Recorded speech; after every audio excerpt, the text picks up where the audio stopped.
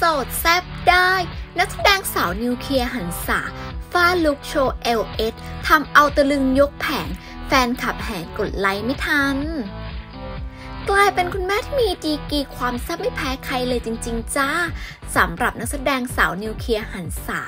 ที่ช่วงนี้จะเห็นเจ้าตัวอวดลุคเซ็กซี่ขยี้ใจบ่อยมาก จนทำเอาแฟนๆต้องรีบเข้าไปส่องใน IG ตลอดเวลา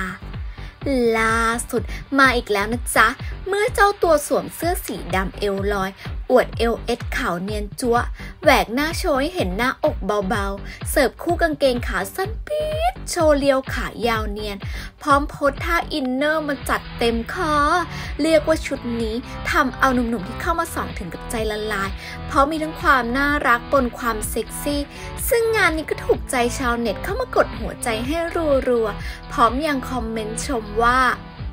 สวย น่ารัก และยังเซ็กซี่ คืองานดีมากแม่เรียกว่าโสดและแซบได้ใช่ไหมจ๊ะสาวนิวเคลียร์